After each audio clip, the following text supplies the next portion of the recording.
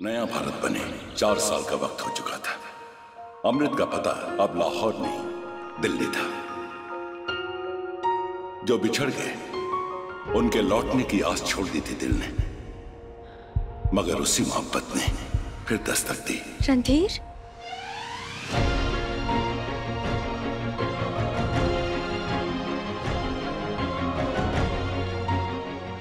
अमृत। मुल्क तो आज़ाद हुआ। मगर मोहब्बत तो मुश्किलों में पड़ गई। इश्क की उलझी ये डोर अब कैसे सुलझेगी?